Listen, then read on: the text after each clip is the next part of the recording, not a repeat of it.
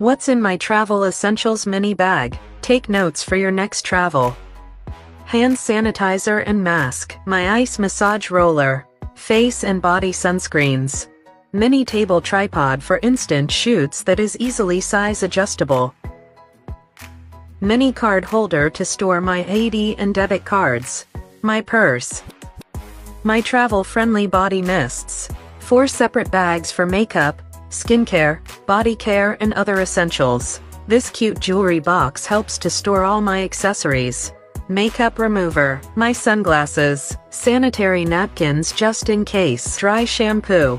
This little box that has different compartments to store all your medicines and strips. Eye mask I can't sleep without.